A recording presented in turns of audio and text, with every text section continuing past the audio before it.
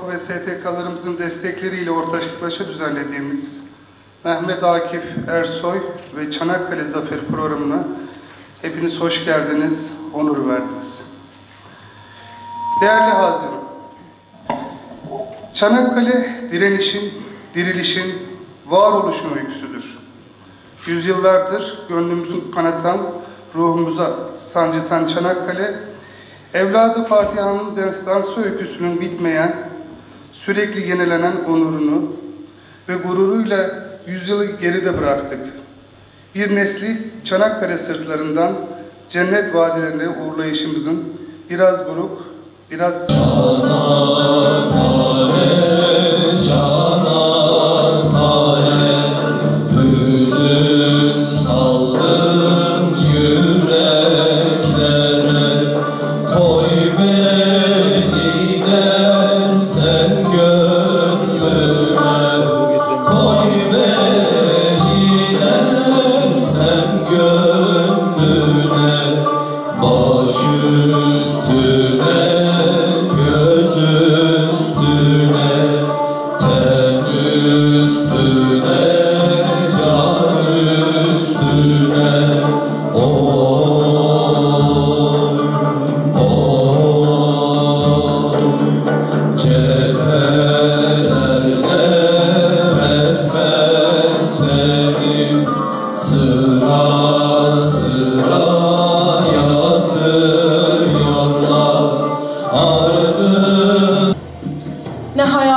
tehaşüt ki ufuklar kapalı, Nerede? Gösterdiği vahşetle bu bir Avrupalı?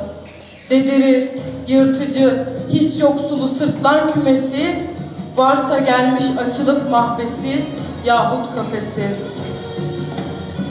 Eski dünya, yeni dünya, bütün akvam-ı beşer, Kaynıyor kum gibi, mahşer mi, hakikat mahşer.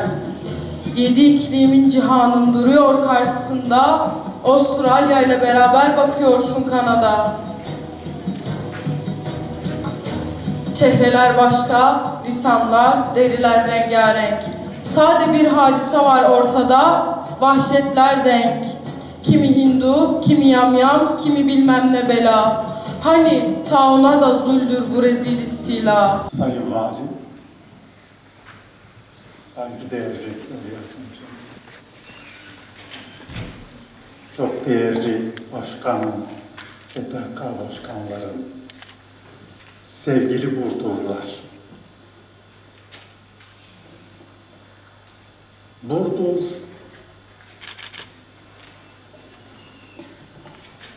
Selçuklu çağında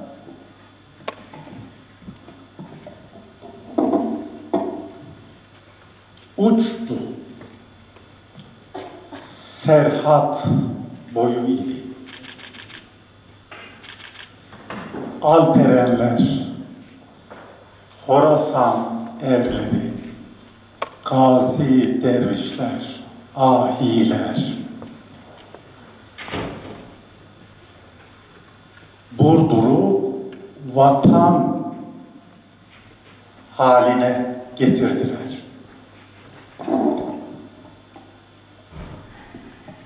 Aradan asırlar geçti. Burdur'u vatan haline getiren ruh iklimi bozuldu.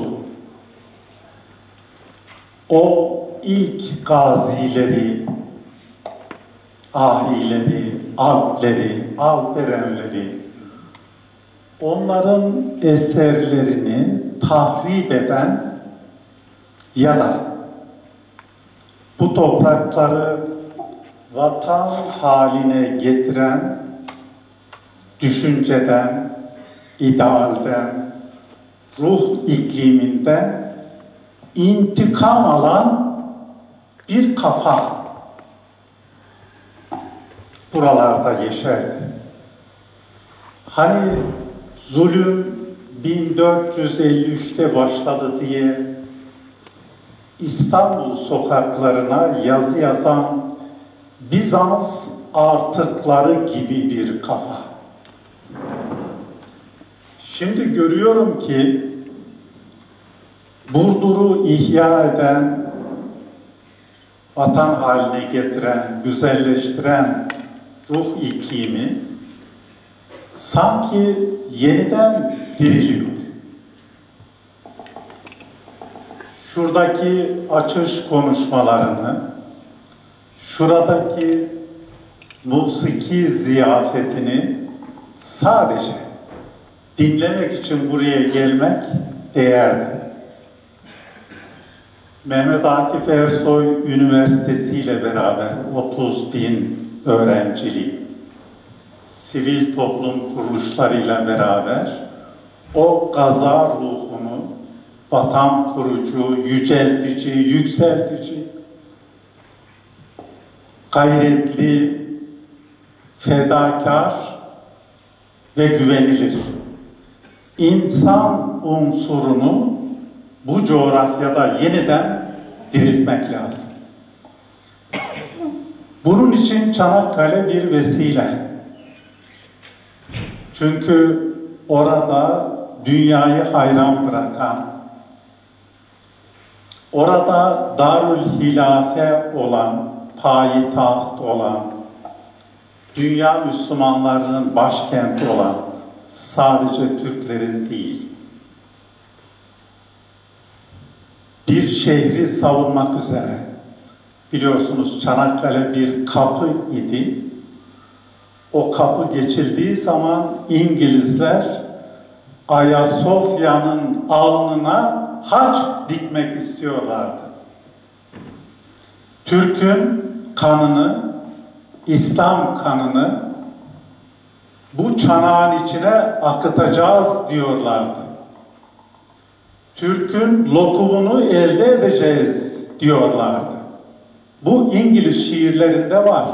Dönem şiirlerinde var. İngiliz kraliyet yayınlarında var.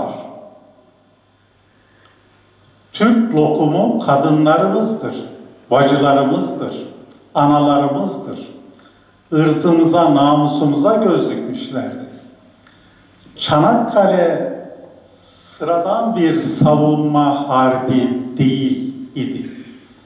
Şimdi Çanakkale'yi de biz bir dönem unutulmaya terk ettik. Fakat Çanakkale türküsüyle inanır mısınız? Çanakkale destanı Çanakkale'yi sanki yaşattı. Girişte şöyle bir şeyi arz etmek isterim. Affedersiniz.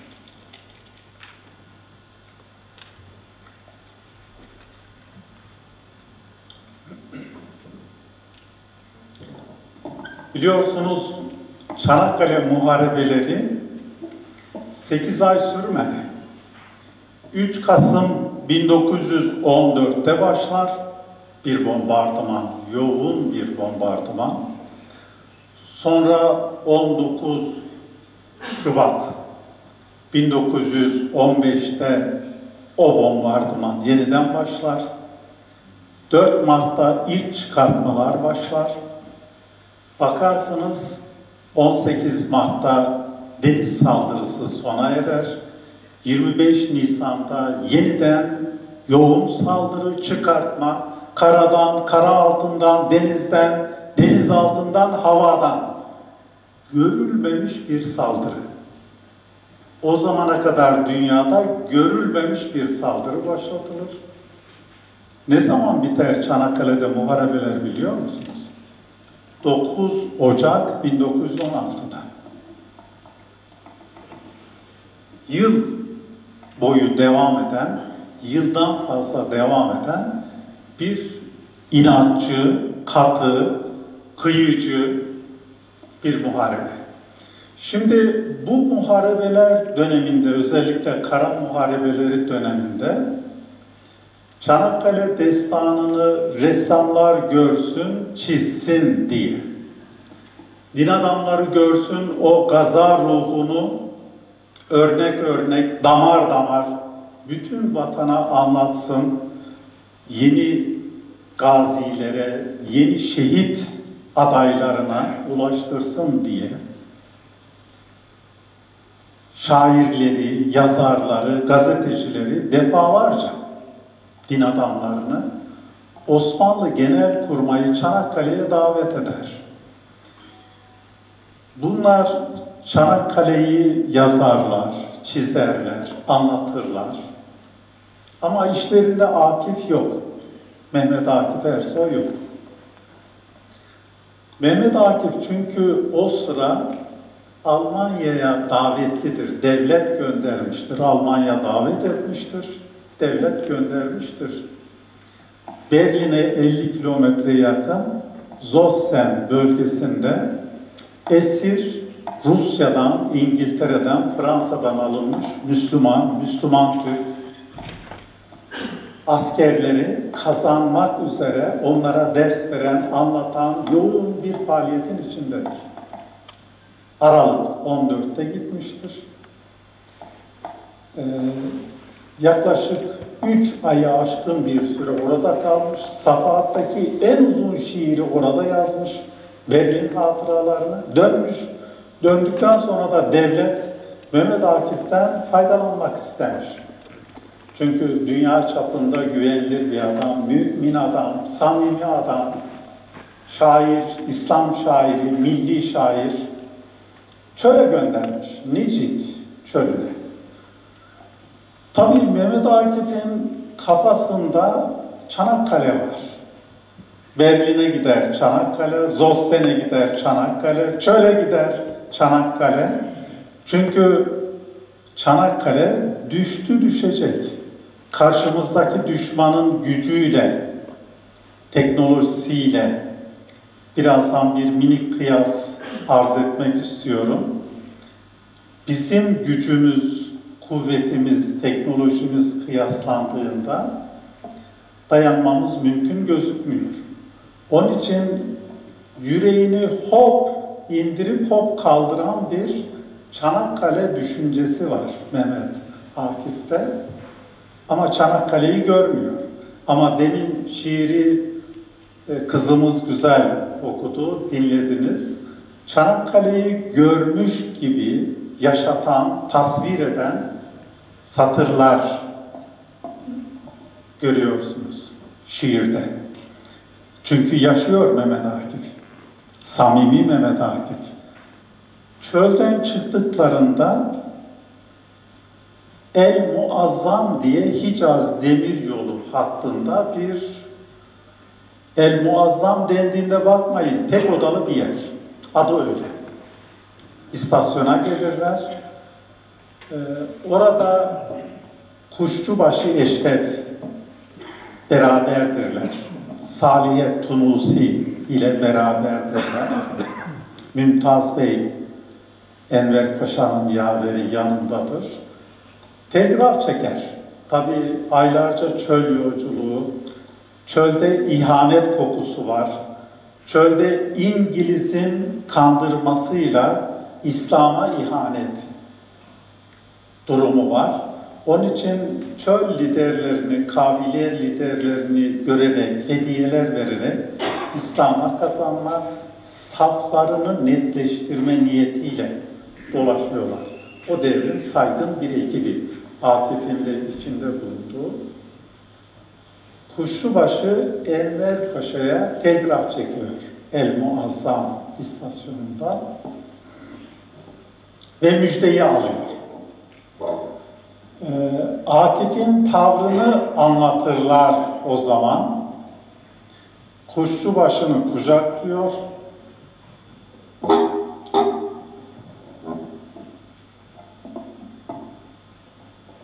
Başını omuzuna yaslıyor. Saatlerce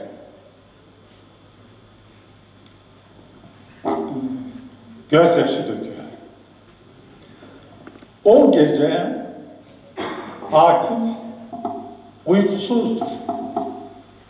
Hurmaların arasına gidiyor. Sabahleyin elinde bir demet parça kesen kağıt. kuşçu başına sunuyor. İşte bu destan. Çanakkale destanı. Şimdi böyle bir destan nasıl yazılır? Mehmetçiğin destanı yüz binlerin destanı. Çünkü her Mehmetçik bir kahraman. Çanakkale kahramanı. Onlara layık bir destan nasıl yazılır? Biliyoruz ki mesela Çanakkale'ye davet edilenlerin içinde İbrahim Alaaddin Gövsal diye bir şairimiz var. Çanakkale şiirlerini okudu. Bana en çarpıcı gelen satırı şuydu. Böyle düşmandan top gülleleri gelirken bir askerimiz demin nöbet tutan yiğidimiz gibi, Burdurlu gibi o dönemin kıyafetiyle silahını dikmiş yere o top mermilerinin arasında namaz kılıyor. Bitirince beklemiş İbrahim Alaaddin Gölsar diyor ki nerelisin hemşerim şiir diliyle söylüyor. O da demiş ki Konyalı. Şimdi Akif'in şiiriyle şu bir beytini söylediğim şiiri bir kıyaslayın bakalım. O ruhu hissetme, vatan sevdasını dile getirme yönünden bir bakın bakalım. Ya da o dönem Padişah Mehmet Reşad'ın tahmisi var, Çanakkale şiiri var. Birçok şairimizin var. Tamamına yakını okuma fırsatı oldu. Başka destanlar var. Yazılıp dağıtılan destanlar var. Ya da Abdülhak Hamit'in Çanakkale şiiri var. En meşhur şair. Biraz da latife olsun diye aktarayım. Çanakkale şiirini Abdülhak Hamit, hani şu Makber'in şairi, meşhur şair, diplomat, Osmanlı aydını. Şiir bittikten sonra dostlarını toplamış, Çanakkale şiiri okunuyor. Burada hiç okuyanı görmedim ben. Burdur'a birçok defa geldim. Başka yerlerde bulundum. Onun şiirini hiç okuyan görmedim. Şimdi e, tabii toplantıda büyük şaire hürmeten kendi şiirini okuyorlar, Çanakkale şiirini. Oradan biri de çıkıyor diyor ki, Üstad ya bir de Akif'in şiiri var. Bir de onu okusak adam şöyle duruyor, geriliyor. Diyor ki azıcık bir keyfin yerine gelmişti, keyfimi bozma. Çünkü biliyor ki Akif'in şiiri okunursa Üstad Abdülhak Hamid'in şiirinin ne kadar zayıf, gölgede kalacağı açığa çıkacak. Onun için mani oluyor. Akif'in şiirini okutmuyor.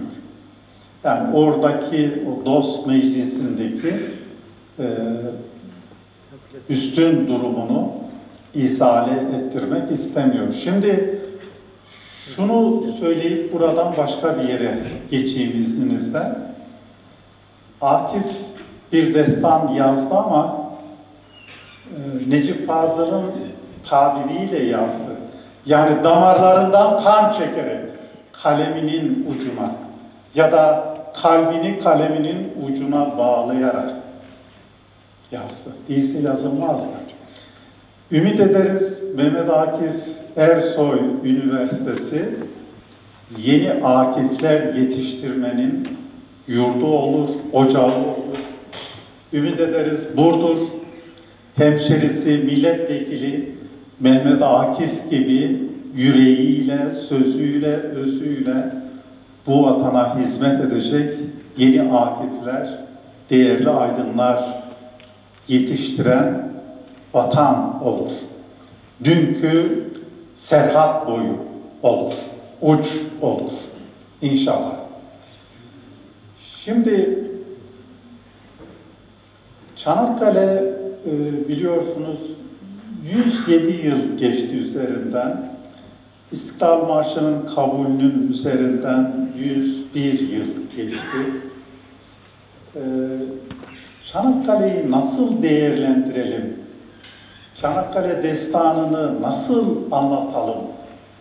Hangi yönlerini öne çıkartalım diye sorduğunuzda e, önce şu aziyeti dile getirmek isterim. Çanakkale destanını anlatmaya benim de sanırım sizin de gücünüz yetmez. Ama bazı yönlerini özellikle öne çıkartabiliriz. İlk önce şunu arz etmek isterim. Biliyorsunuz Çanakkale Mehmetçik destanıdır. Bir komutanlık harbi değildir. Türkiye yanlış biliyor. Çanakkale Mehmetçik destanıdır. Kahraman Mehmetçiktir. Teknolojiye karşı e, Garb'ın afakını saran çelik zırha karşı göğsünü siper eden arslanların, Bedrin arslanlarının, yani o imanda, ilk dönem İslam'ı gibi, o imanı savunan, o imanda hilali savunan, İslam diyarını savunan, bayrağı savunan, ırzımızı, birliğimizi, namusu savunan Mehmetçiğin destanıdır. Birkaç örnek arz edeyim.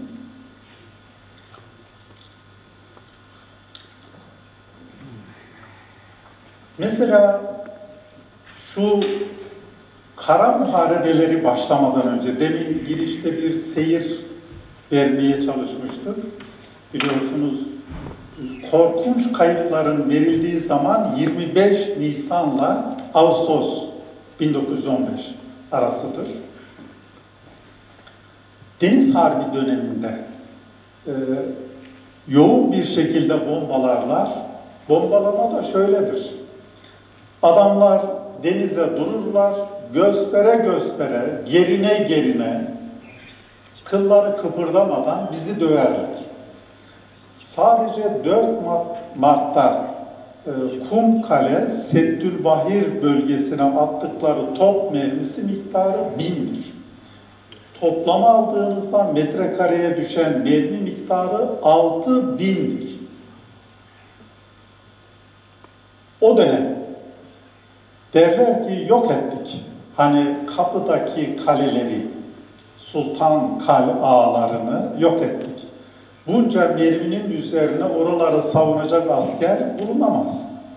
Onlar da yok oldu. John Hamilton'ın hatıratında var. Diyor ki biz süngü pırıltısı gördüğümüz zaman oraya odaklanıyordu. Çanakkale günlüğü var.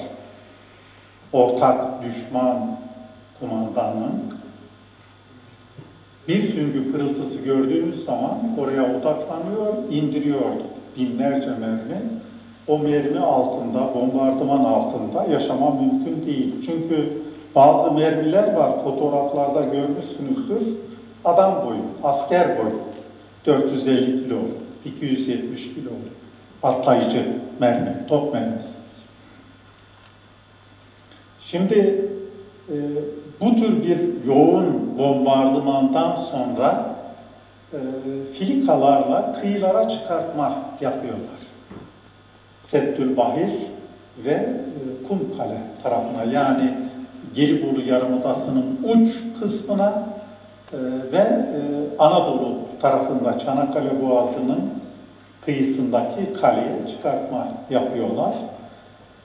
Kumkapı tarafına 400 düşman, İngil, Fransız ortaklar ya Settülbahir tarafına 60 civarında İngiliz, Bahriyelisi, deniz askeri çıkıyor. Tabii onlar şöyle düşünüyorlar. Kalelerde ne kadar top, benzeri malzeme, makinalı varsa tahrip edelim, tahrip edelim. Geçiş artık e, kolay olsun. Boğazın geçiş kolay olsun. Hiç ummadıkları bir şey oluyor. Hiç beklemedikleri bir şey oluyor. Şimdi kıyı askeri çıkartıyorlar, rahatlar. Çünkü o kadar bombardımanın altında insan yaşamaz. Ee, sağ insan kalamaz. Ummadıkları bir şey tam tersi. Sedülbahir tarafında 20 civarında Mehmetçik. önce yoğun bir ellerindeki mermi miktarınca kurşun sıkıyorlar. Ardından kurşunla yetinemiyorlar. Süngüyü takan hücuma geçiyor. Ee, yalnız başlarındaki komutan Bigalı Mehmet Çavuş. Tüfeği tutukluk yapıyor. Mavzeri tutukluk yapıyor. Mavzer sopaya dönüşüyor. Sıkamayınca sopa. Sopadan bir fark yok. Mavzeri kenara atıyor taşla. Düşmana saldırıyor. Olmadı istihkam küreğiyle ve kocaman yüreğiyle saldırıyor. Ve denize kadar da sürüyorlar. Ee, 20 civarında düşmanı öldürüyorlar, denize sürüyorlar. Şimdi e, kafasından, sol göğsünden yaralar alıyor. Gözümü açtığımda diyor Sıhhiye çadırındaydım. Demek kanı çekilip bayılıncaya kadar mücadele etmiş. Tabi bu basında yer alıyor. Şimdi yeni bir kitapta yayınlandı Bigalı Mehmet Çavuş için. Ee, Başkumandan Vekili Enver Paşa madalya takmaya geliyor. Yaralılarla beraber gazilerimizle ziyarete. Dediği şu, şu yaralarım iyi olsun, yeniden düşmanla savaşacağım. Gerçekten de öyle oluyor. İzine gitmiyor. O zaman Burdur dahil bütün Türkiye'den gazilere ve şehitlere yardım toplanıyor. Ee, Hediye-i Nakdiye adı altında Burdur'dan da 263 kuruş gidiyor. Halkın arasında topladığı o ilk günlerin heyecanıyla bir küçük e, gazi ve şehitlere yardım.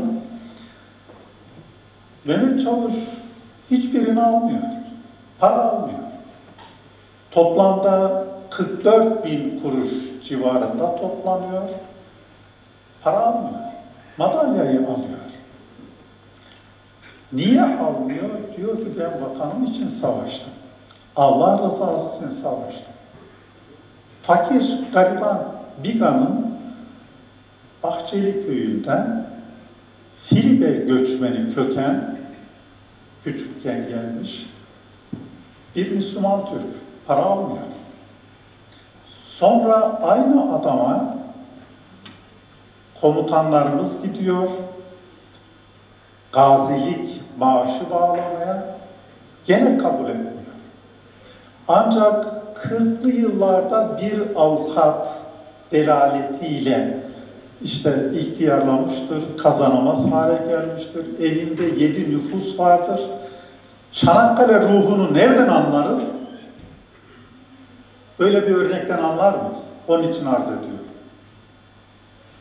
Sana maaş bağlayalım dediklerinde para kazanamaz hale geldiğinde gariban adam o zaman da istemem diyor. Ve maaş bağlanmadan ölüp gidiyor. 1964'te. Şimdi Bigalı Mehmet Çavuş tipinde o dönem insanlarımız var mı? Ezineli Yahya Çavuş'u, Seyit Onbaşı'yı nere korsunuz? Aynı değil mi? Hani girişte e, Burdurlu hemşerimiz top mermisiyle Seyit Onbaşı'yı simgeliyordu ya. O dağlarda odun keserek, kömür yaparak evlatlarını besleyerek öldü gitti. Fakirdi ama vatanseverdi. Garibandı ama vatanseverdi, mümindi. Gariban öldü gitti. Ezineli Yahya Çavuş'un bir farkı var mı? Şehittir o da.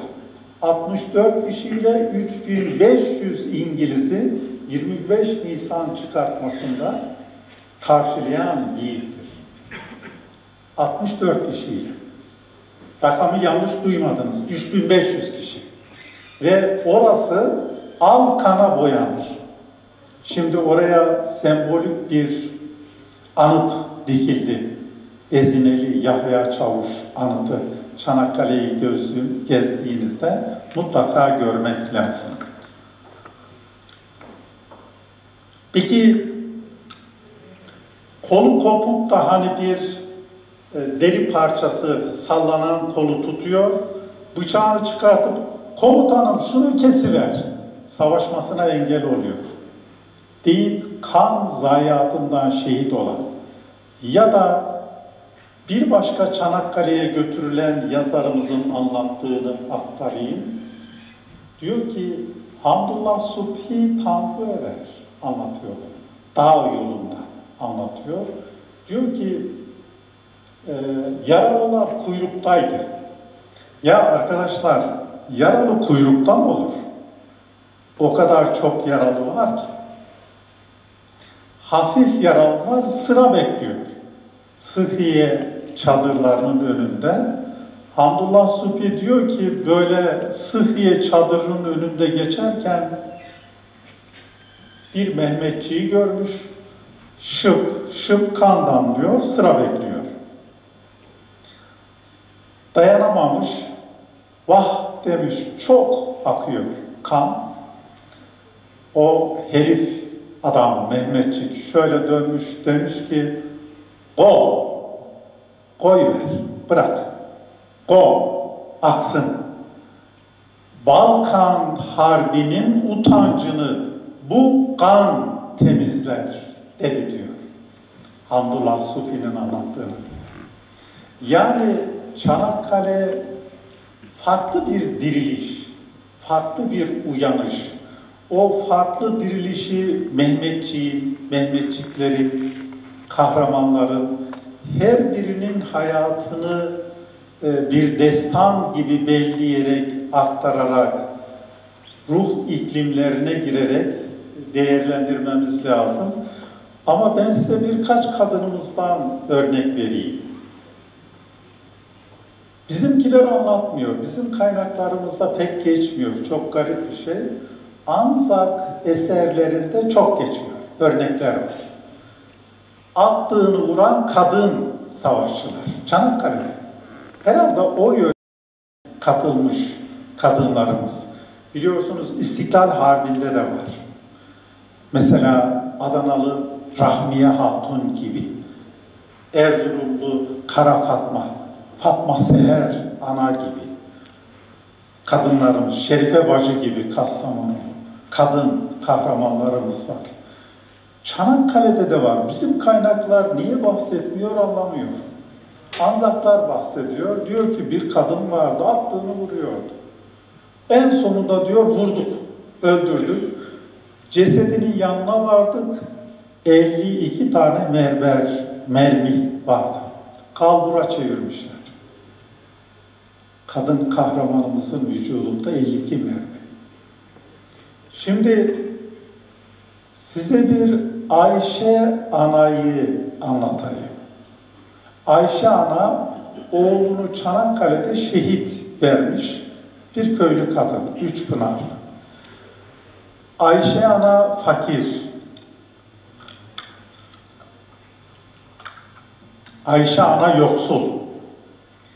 Tabi şehit anasına, hani şehit dul ve yetimlerine devletimiz şehit dul yetimlerine bakmayacaksa kime bakacak? Hakları. Bir ekip gidiyor, ee, Ayşe anayı şöyle buluyorlar. Sırtında çalı bağlamış iple, sırtına vurmuş. Herhalde öyle demet demet odun yükü, katırı da yok. Getirip eve yakacak, kışlığını böyle temin edecek. Ayşe ana gariban. Diyorlar ki sen şehit anasısın. Maaş bağlayacağız. Ayşe ana olmaz diyor, istemem diyor. Ben oğlumu Allah için şehit verdim diyor ve almıyor. Çanakkale'yi kazanan ruhu Bigalı Mehmet Çavuşlardan, Ezineli Yahya Çavuşlardan, Ayşe analardan öğrenmemiz gerekmez devlet malı deniz diyen domuzlar yerine yetimlerin, yoksulların hakkını çarçur edenler yerine Ayşe analar Çanakkale ruhunu yaşatan Bigalı Mehmet Çavuşlar Çanakkale zaferini anma yıl dönümle- dönümlerinde anılmalı, anlaşılmalı değil mi? O dönem biliyorsunuz Harp Mecmuası diye bir dergi yayınlanıyor. Harbiye Nezareti tarafından yayınlanıyor. Şimdi iki defa yeniden yayınlandı bu mecmua. Harp Mecmuası.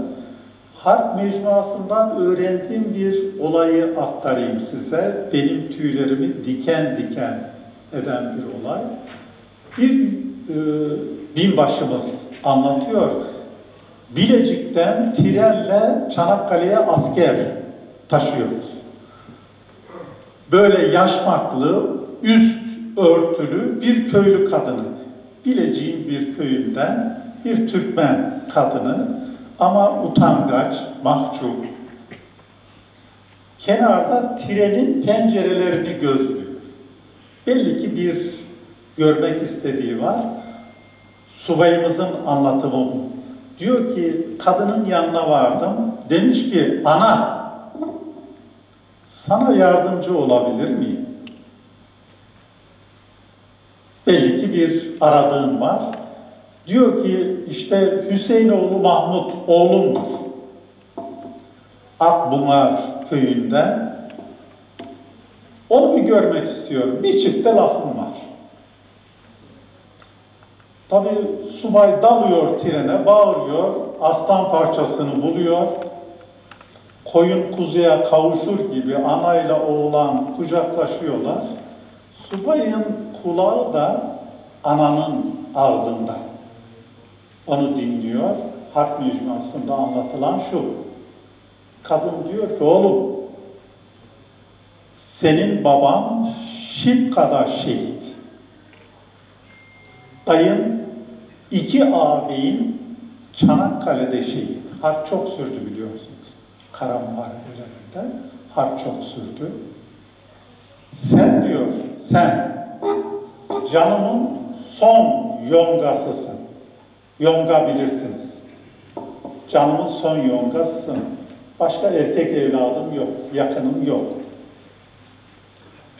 Ama diyor Çanakkale'ye sen de git.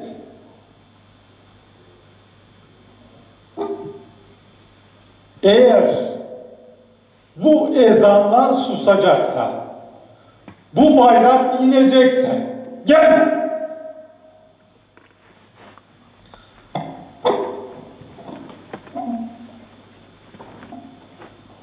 Çanakkale bu.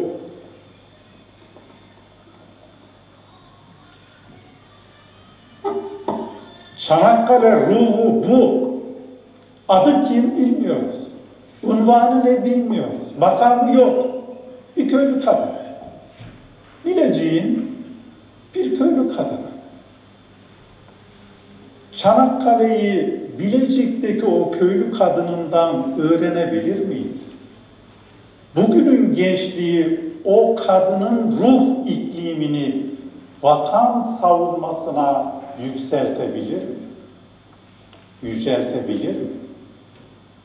Yani ilim öğrenmede, araştırmada, bilim geliştirmede, bilimsel düşünce geliştirmede, teknoloji geliştirmede o kadının ruh iklimine bürünebilir mi? Bu bayrak inecekse ölmeliyim. Bu ezan susacaksa yaşamamalıyım. Bu bayrak nasıl dalgalanır? Bu ezan nasıl susmaz? Güçlü olursak, kuvvetli olursak. Peki kuvvet nerededir? Kuvvet ilimde değil midir? Kuvvet teknolojide değil midir? Kuvvet düşüncede değil midir? Mehmetçik görevini yapmıştır. Ölmüştür. Çok çok ölmüştür. Çünkü okumuşlar, aydınlar hain olunca, çalışmaz olunca, yatuk olunca Mehmetçiğe ölmek düşmüştür. Gavur top teknolojisini geliştiriyor. Havada uçan kuşlar dolaştırıyor. Uçak teknolojisini geliştiriyor. Çanakkale'de biliyorsunuz kara e, karadan karaya giden kirpi gibi bir çeşit füzeleri vardı. Denizde gemiden gemiye atılan patlayıcıları vardı. Denizaltıları vardı. Onlar denizaltı üretirken Çanakkale'de bizim hiç denizaltımız yok. Hiç yok. İki kıl kuyruk vardı uçak. İki. 50 küsur uçaklar vardı. Peki gemileri yedikleri hani yenilmez armada 18 zırhlı kabul edilir. Halbuki ikinci gelişlerinde 600 civarındaydı. O büyük zırhlıların yanında e, yedek e, çıkartma layterleri, gemileri dahil e, yardımcı gemileriyle beraber 600 civarında gemileri vardı. Peki Türk milletinin tophaneleri vardı. İstanbul'da tophane var biliyorsunuz. Top üretilirdi. Çanakkale'yi biz hangi toplarla savunduk? Alman kurum fabrikalarının 1864 yapımı çakar almaz Takarov tipi kalkmaz, inmez, döküm alır döküm. Atış seyyaliyeti olmayan, seriliği olmayan toplarla savunmaya çalıştık. Peki biz top teknolojisini niye geliştirmedik? Silah teknolojisini Çanakkale'ye kadar neden geliştirmedik? Bizim uçaklarımız niye yoktu? Peki Cumhuriyet devrinde istikbal göklerdedir dedik. Uçak sanayini, uzay sanayini niye geliştirmedik? Arkadaşlar, Çanakkale ruhunu anlamak aslında bu vatan için teknoloji geliştirme demektir. Bu vatan için zenginlik üretme demektir. Bu vatan için ilim üretme demektir. Çünkü bunları geliştirmediğiniz zaman Çanakkale'de olduğu gibi vatanı savunmak için çok ölürsünüz. Öyle olmadı mı? 250 bin şehit ne demek? Yaralı, kayıp, esir ne demek? 250 binin üzerinde. Size bir garip örnek anlatayım. İngilizler biliyorsunuz Birinci Dünya Harbi'nde Panturanlılar ve Panturanizm diye bir eser hazırladılar. MI6. İngiliz istihbaratı niye hazırladılar biliyor musunuz? O dönem Turancılık, Türkçülük akımı vardı. Ya acaba dünya Türklüğü birleşir mi? Acaba dünya Müslümanları birleşir mi? Onların en çok korktuğu şey. Dünya Türklüğü birleşir, dünya Müslümanları yardımlaşır, dayanışırsa emperyalizm Orta Doğu'yu, İslam ülkelerini soyabilir mi? Sömürebilir mi? Paramparça edebilir mi? Yeraltı, yerüstü zenginliklerini götürüp Avrupa şehirlerine yığabilir mi? Onun için bizim içimizde fitne, fesat, kötülük ne kadar çok olursa emperyalist ülkeler, tek dişi kalmış canavarlar o kadar iyi semirirler. O kadar iyi olurlar. Birlik olmamamız lazım. Onun için İngilizler bilim adamlarını çalıştırıyorlar. Acaba dünya Türkleri birleşebilir mi? diye ciddi ciddi çalışma yapıyorlar. Sonuç nedir biliyor musunuz?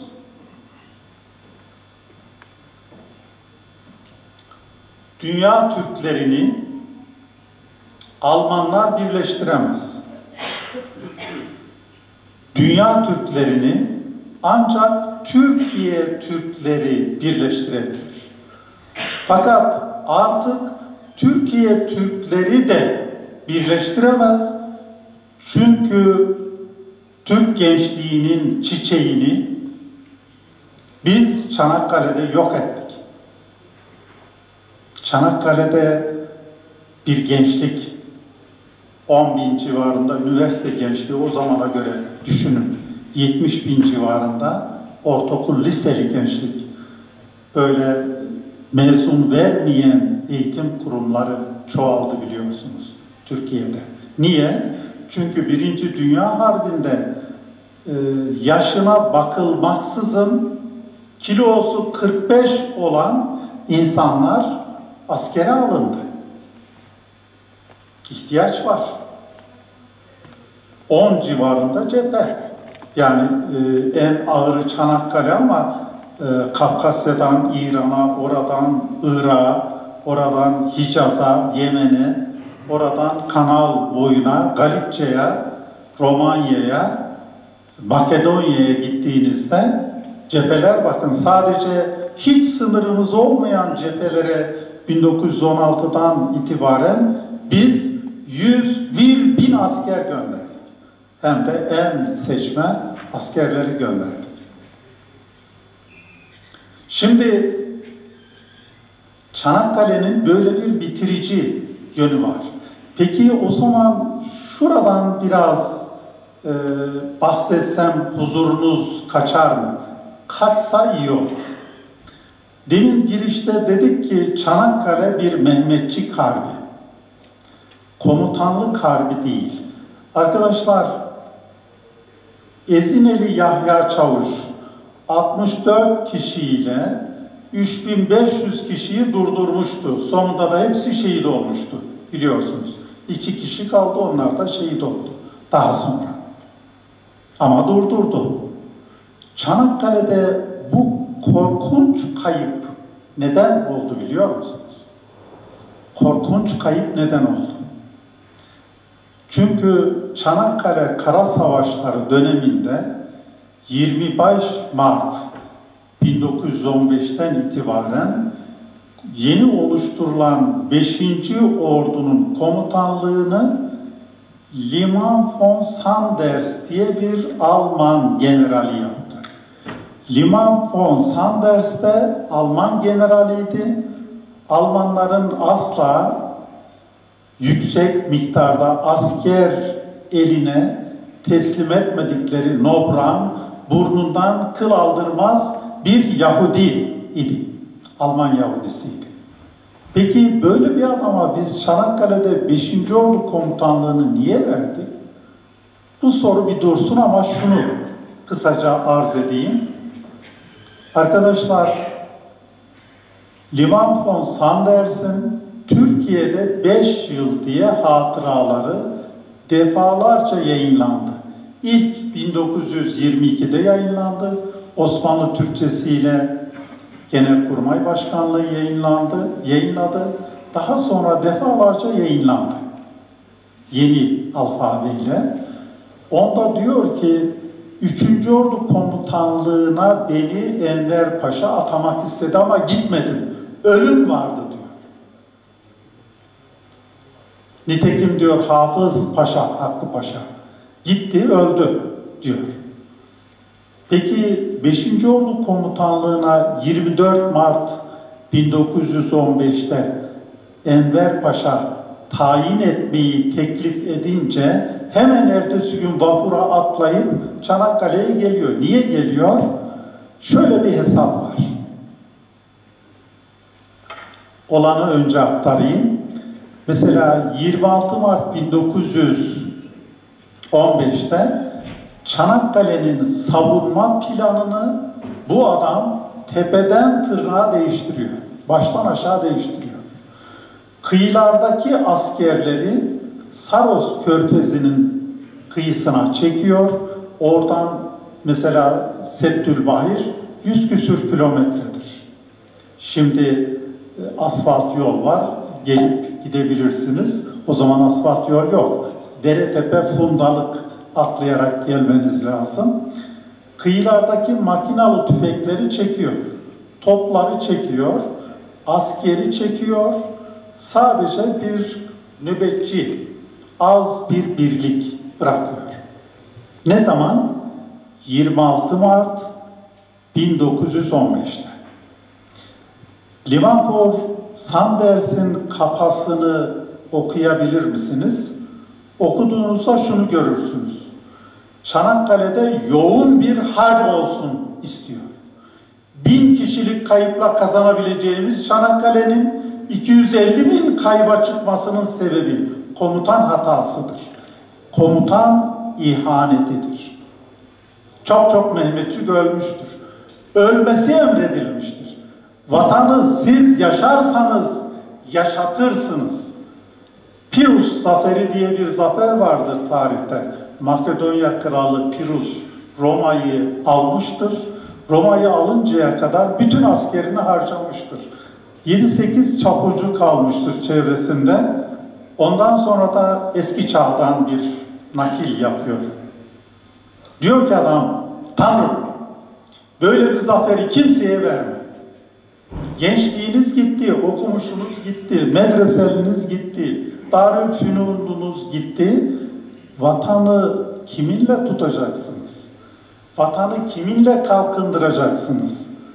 Bin kayıpla kaybedeceğini, kazanacağınız bir zaferi neden 253 bin kayıpla kazanıyorsunuz? Bu sebebi arz etmek istiyorum. Çanakkale'ye bir farklı yönden bakmanız lazım. Özellikle üniversitelerin farklı düşünmeyi sevmesi lazım. Çünkü Çanakkale'de yoğun bir harp olursa Almanya'nın üstüne binen İngiliz, Fransız, Rus güçleri Türklerin üstüne binecek. İtilaf kuvvetleri, uyuşma kuvvetleri. Peki o zaman ne olacak? Hanslar ölmeyecek, Hasanlar ölecek. Hani bizim kınalı kuzular. Analarının başlarını kınalayıp vatan için, din için kurban ol oğlum. İşte biz kızlarımızı kınalarız, yuvalarının kurbanı olsun, kocalarının kurbanı olsun, yuvalarını ayakta tutsun diye. Kızlarımızı kınalarız, koçları kınalarız, koçları. Neden? Allah için kurban olsun. Erkekleri kınarız, kınalarız. Hani kınalı Aliler, kınalı Hasanlar, destanlarını okumuşsunuzdur Çanakkale'den. Anaların kınalayıp kınalayıp gönderdiği yiğitler niye kınalarız? Vatan için şehit olsun. Şimdi anaların böyle davranması doğru. Mehmetçiğin şehit olması vatan için doğru. Kaçmaması, yılmaması doğru. Ama komutanların yanlış iş yapması doğru mu?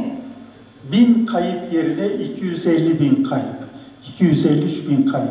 Sebebi ne? Çünkü komutan tayin ettiğimiz adam Alman Genel Kurmayının emriyle kıyıdaki kuvvetleri çekiyor. Tabi düşmanın kıyıya çıkması kolaylaşıyor o zaman. Kıyıdaki hafif kuvvetleri yok ettiğiniz zaman diyelim ki e, Mordo koyuna yakın e, Ezineli Yahya Çavuş'un bulunduğu koya baktığınızda e, oradaki 64 askeri şehit ettiğiniz zaman ana kuvvetler çok geride. Maydos, Soros, öbür taraf 100 kilometre aşkın bir mesafede. Zecri yürüyüşte 36 saatte ancak gelebilir.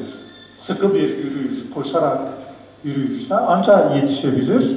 O zaman içinde de kıyılara çıkıyorsunuz ve yerleşiyorsunuz. Fransız ve müttefikleri e, işte Anadolu kıyılarına, İngiliz ve müttefikleri bu tarafa, Settülbahir tarafına yerleşiyorlar. Ondan sonra da şöyle yapıyoruz. Düşmanı vatanımızdan atabilmek için yoğun hücumlar, süngü hücumlar. Şerif Güral diye bir subayımız var. Diyor ki Sanders bir tümere hücum verdi, kamilen kırıldı. Hani bir komutanımız anlatıyor ya, tanık olduğu bir durumu. İşte siperler arası mesafe 8 metro. Önden hücuma kalkanlar tamamen şehit oldu. Arkadakiler, ikinci saftakiler durumu görüyor. Üç dakika sonra öleceğini biliyor ama fütur getirmek yok. Bilen Kur'an-ı Kerim okuyor. Bilemeyen kelime-i şehadet getiriyor. Çanakkale'de bize zaferi kazandıran bu yüksek ruhtu diyor ya. Onu anlatıyor Şerif Güray. Diyor ki adam emri verdi. Tümen kalktı hücuma. Hepsi şehit oldu. Kırıldı. Gök ekin biçer gibi serildi. İkinci bir tümene hücum. Tabii o yaralı kalanlar varlar. Arada yaralı kalanlar. Onlar da diyorlarmış ki Koma hemşerim öcümüzü al. Asker e, vatansever, asker coşkun. O da kamilen kırılıyor. Üçüncü tümene hücum emri vermesin diye Cumhuriyet devrinde yaşadı. Kızı da 6-7 kitap sahibi e, meşhur bir kadın yazarımız oldu. Cafer Tayyar Paşa. Tabi cephe komutanına kendim desem diyor cephe komutanı durmaz. Alman, Nobran burnundan kıl aldırmaz bir Yahudi. Namuslu bir Alman generale dedim ki diyor şu Sanders'e söyle Mehmetçiği gırdırıyor. Vicdan yok. Sen onun dilinden anlarsın. Üçüncü tümene süngütak hücum emri vermesin. Sonuç hücum. Mehmetçiğin kırılmasından Alman'ın Alman Yahudisinin kılı kıpırdar mı? Kıpırdamıyor. Diyor ki Şerif Güralp Çanakkale hatıralarında ben diyor hücum emrini kendi emrimdeki 1600 askerde uygulamadım. Niye uygulamadım? Şafak söküyor, asker görülür halde makinalı tüfekler tarar. Hücum şöyle biliyorsunuz. Karşıda düşman siperleri kurulmuş. Boy siperleri kurulmuş. Önüne kum torbaları yığılmış. Kum torbalarının üstüne tel örgüler çekilmiş. Tel örgülerin belli yerlerine de makinalı tüfek yuvaları kurulmuş. Bu tür siperlere hücum ölmek demek. Askeri gök ekin gibi biçtirmek demek. Bu tür siperlere hücum yapılır. Nasıl yapılır biliyor musunuz? Önce yoğun bir bombardıman yapılır. Siperler hallaç pamuğu gibi atılır. Tel örgüler kesilir. Makinalı tüfekler susturulur. Ondan sonra Allah Allah hücum yapılır. Öyle olmuyor. Doğrudan tahrip edilmemiş siperlere hücum asker kırılıyor. Diyor ki o subayımız 1600 kişiyi kurtardım diyor. Şimdi şöyle bir soru sorayım mı size? Çanakkale'de Liman von Sanders içimizden hangi komutanlarla iyi? Onların önünü açıyor. Hangi komutanlarla kötü? Ben kötü olandan bir örnek vereyim size. Halil Sami Bey, albay, 9. Tümen Komutanı. Liman von Sanders'in 26 Mart planını öğrenir öğrenmez iki sayfa şu an elimizde var arşiv belgesi olarak. Atase belgesi olarak elimizde var. Osmanlı Türkçesiyle yazılı. Rapor veriyor. Diyor ki Sanders'in cephe komutanı olarak bu planı Mehmetçiği mahveder. Bu plan düşmanın vatanımıza çıkmasına izin verir. Vatanımıza düşman çıkınca çok kayıp veririz. Çok şehit veririz. Çünkü adam yerleşmiş. Sürüp çıkaracaksınız. Süngü hücumları yapacaksınız. Ee, Bir de hücumlara kalktığınız zaman denizden destek var, havadan destek var. Ee, Kara torpilleri var. O zaman e, açıktan hücuma yolladığımız askerimizi açık hedef haline getiririz. Madde madde iki sayfa. Ne oluyor biliyor musunuz? Liman von Sanders 9. Tümen Komutanı Halil Sami Çanakkale'nin gerçek kahraman komutanıdır bu adam. Görevden alıyor, emekliye sevk ediyor. Halil Sami kim diye bugün üniversitelere sorsanız, halka sorsanız bilmez. Halil Sami'yi bilmiyoruz. Son belge 1924 yılına ait. Milli Savunma Bakanlığı'na dilekçe vermiş. Emeklilik dönemi. Onun dışında bilgimiz yok. Şimdi e, bunu niye anlattım? Çanakkale'nin yıl dönümlerinde bizim Mehmetçik ruhunu kavramamız lazım. Vatan savunmasının bilimle, teknolojiyle, düşünceyle olduğunu kavramamız lazım. Değilse başımıza bir yabancıyı geçirerek ya da yabancılaşmış mankurt kafada insanları geçirerek vatanın savunulamayacağını, vatanın yüceltilemeyeceğini kavramamız lazım. Yani Çanakkale'nin bir öğüdü olarak. Şöyle bir kıyas arz edeyim sizi çok yormadan.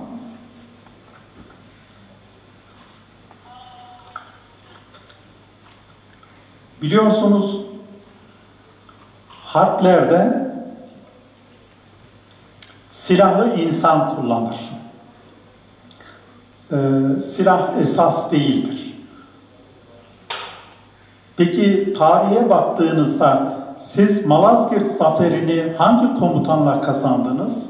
Mohaç'ı hangi komutanla kazandınız? Yani zaferler ayını, aylarını düşündüğünüzde Milyo Kefalo'nu hangi komutanla, hangi Almanla kazandınız?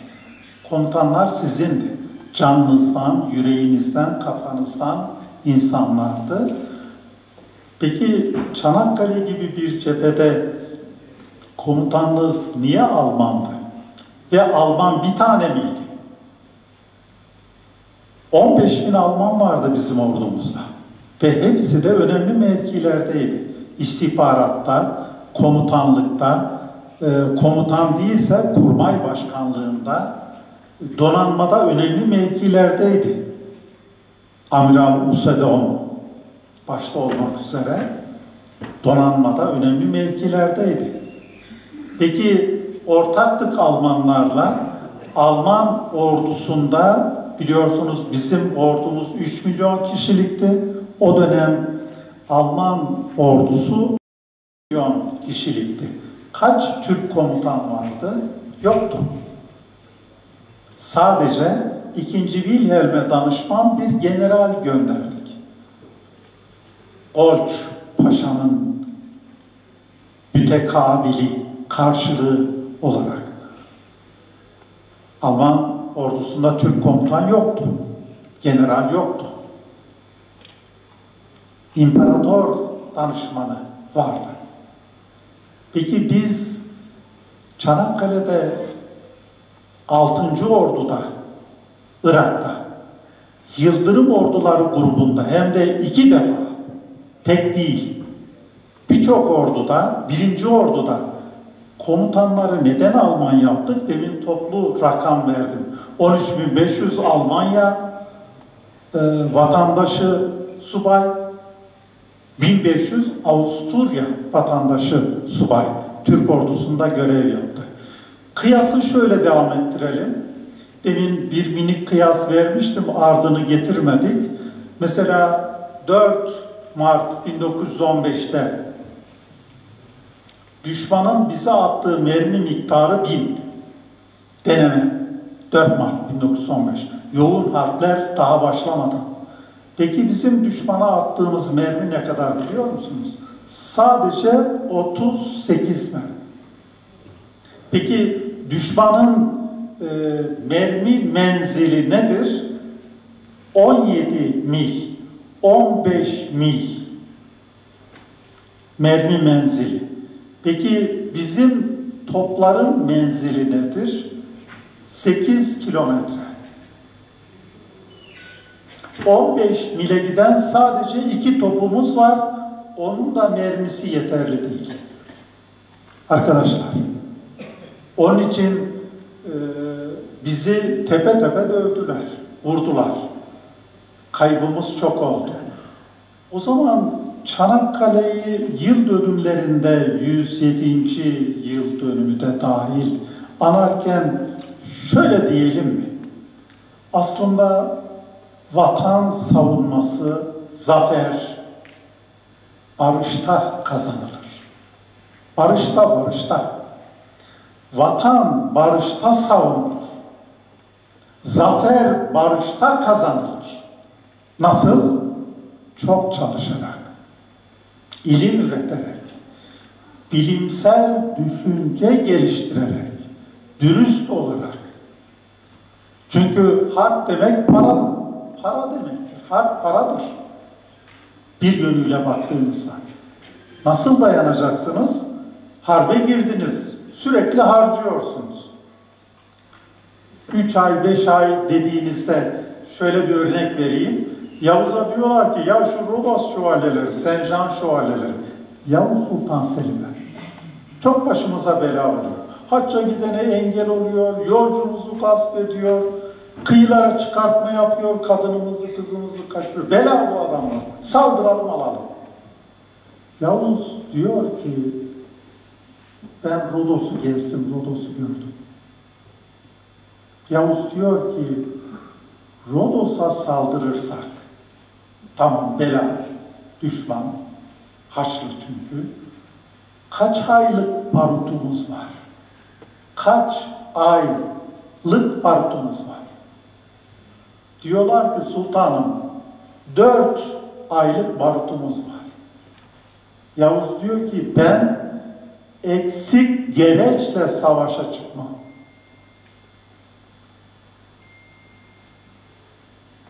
Şimdi gökleri savunacaksınız, denizi savunacaksınız. Çünkü Türkiye'nin denize kıyıları çok, Çanakkale dahil. Ee, kara savunmaları yapacaksınız. Türkiye'ye kritik bir ülke biliyorsunuz.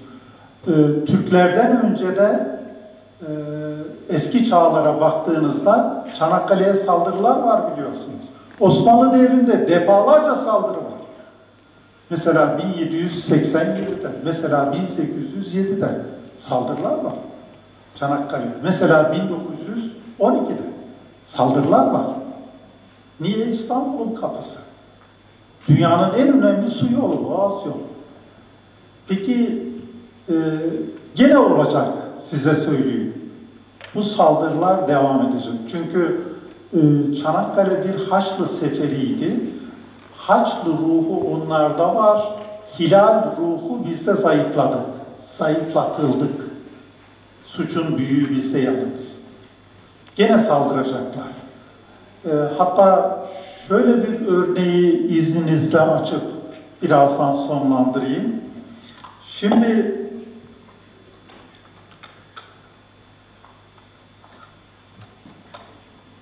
Çanakkale'de bize saldıranlar kimlerdi diye hiç düşünür müsünüz? Çanakkale'den hemen sonra hayran olduğumuz Kavmi Necip diye ağıtlar, e, işte övgüler yaptığımız, hatta e, muhipler cemiyetleri kurduğumuz, mandacı dernekler kurduğumuz İngilizler değil mi? Planın başı, yılanın başı İngilizler değil miydi? Çanakkale'de bize saldıran. Yanlarında kim vardı? Hatta e, farkı anlaşılsın diye arz edeyim. E, İngilizlere biz 1919'dan sonra Kavmi Necip dedik. 1944'e kadar subaylarımızı İngiltere'ye itti. E, uçakları İngiltere'den aldık, gemileri İngiltere'den aldık. Türkiye Cumhuriyeti, Cumhuriyet arşivine bir bakın.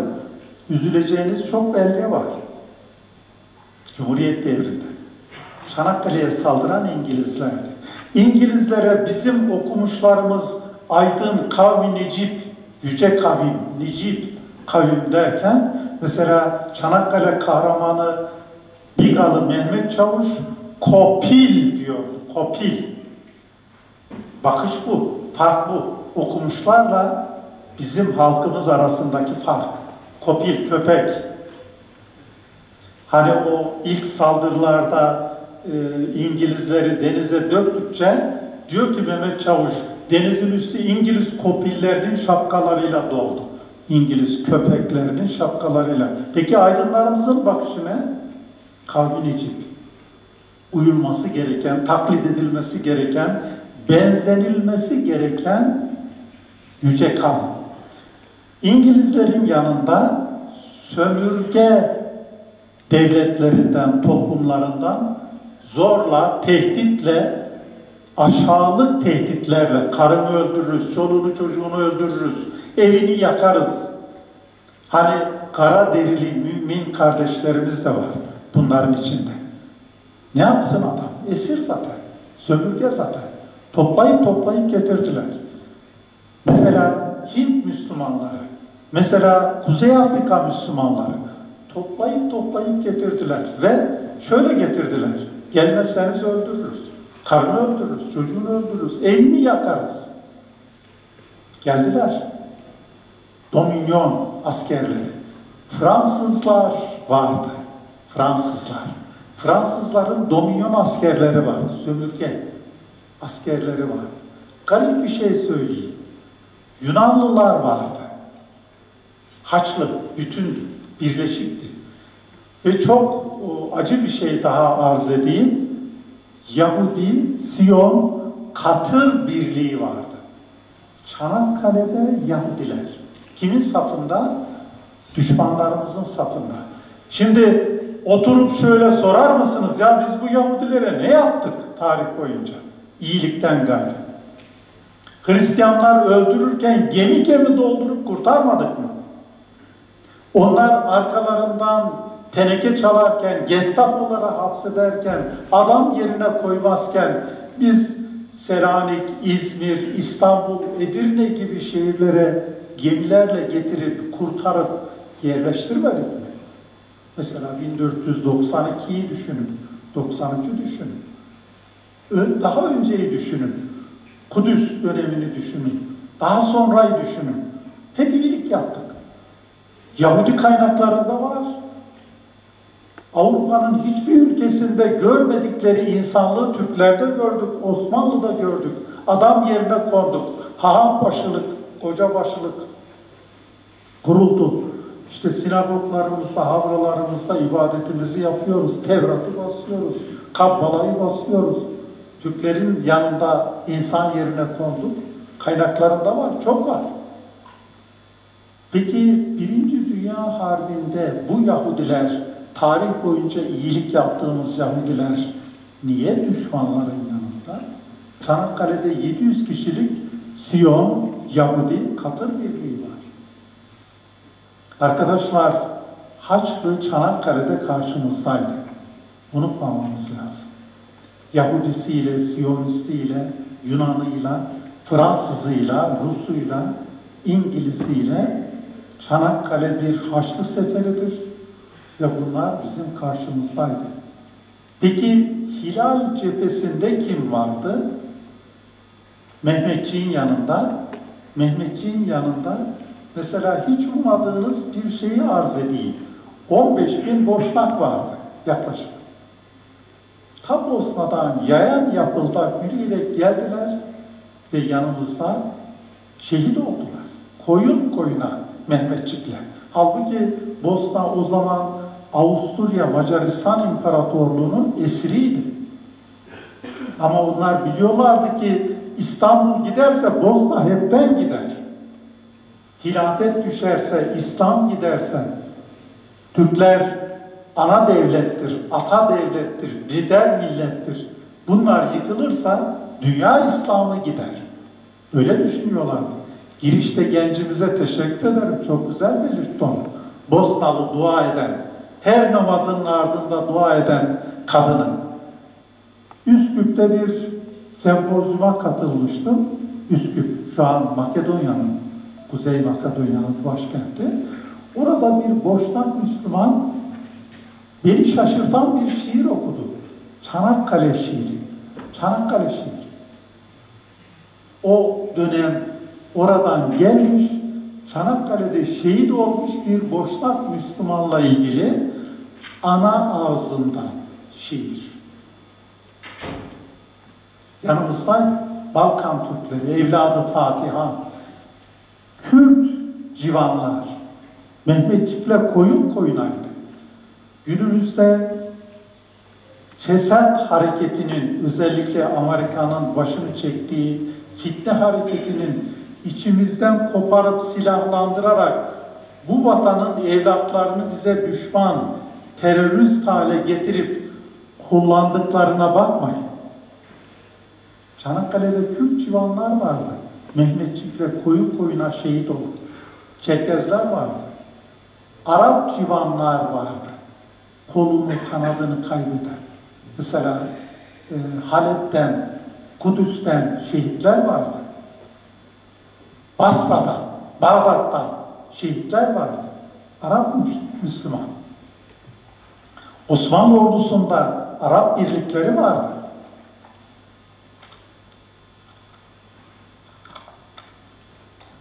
Bunu şunun için arz ettim.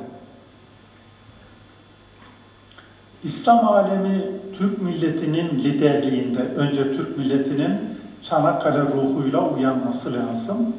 Yeniden dayanışma, birleşme zorunda. Değilse Suriye cehenneme çevrildi bakın. 5 milyon insan dışarıda, vatansız. Filistin cehenneme çevrildi. Açık hava hapishanesi durumunda. Çünkü mazlum role bürünen Yahudinin insafı yok. Kendinden başkasına hayat hakkı tanıma niyeti yok. Kafkaslar cehenneme, Doğu Türkistan cehenneme çevrildi. Dünyada 2 milyara aşkın Müslüman, dev bir güç ama birlikten mahrum, dayanışmadan mahrum. Halbuki Çanakkale bunun örneği. İslam birliğinin, Türk birliğinin örneği Çanakkale. Orada bir dayanışma var. Haçlı dayanışması var. Siyon Katır Birliği'nden tutun, Rum Birliği'ne, Fransız'a, İngiliz'e, Rus'una varıncaya kadar Hilal cephesinde de Mehmetçiğin yanında e, mesela bir subayımızın hatırasından bir örnek vereyim. Fransız üniformalı, kara derili bir asker, düşman. Karşı siperden bize doğru sürünerek geliyor. Emrindeki askere diyor ki vurun şunu. Vuramıyorlar. Alıyor mavzeri tutuyor, nişan alıyor, o vuruyor. Vurduktan sonra kanım dondu diyor. Çünkü düşman üniforması giymiş olan o kara derili adamın koynundan Kur'an-ı Kerim çıkıyor.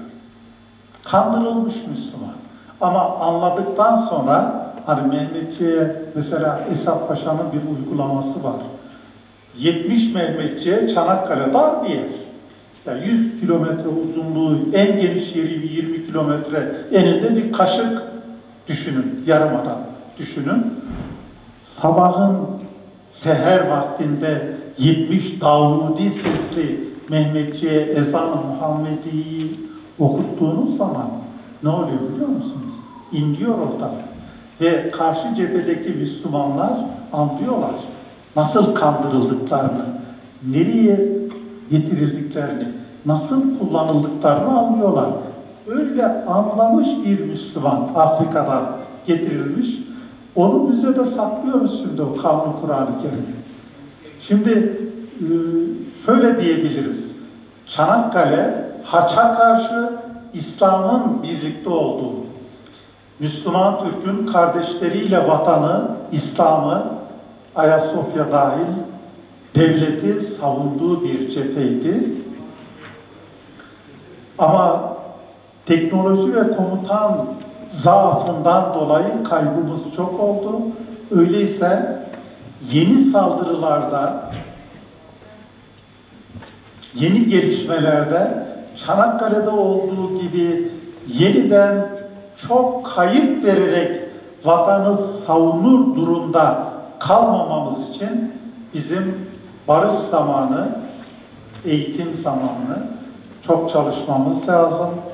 Bilim üretmemiz lazım. Teknoloji geliştirmemiz lazım. Vatanseverlik buradadır. E, vatan savunması buradadır. Ve bu Çanakkale şehitlerinin bayrak düşmesin, ezan susmasın diye Çanakkale gazilerinin evlatlarını kınalayıp Çanakkale'ye gönderen anaların vasiyetidir. Çanakkale'nin 107. yılında Çanakkale şehitlerinin ve gazilerinin anaların vasiyetini tutma zamanıdır. Allah yar ve yardımcınız olsun. Beni sabırla dinlediğiniz için teşekkür ederim. Sağ olun. Burdur Vali Yardımcımız Sayın İbrahim Özkan Bey'i sahneye davet ediyorum.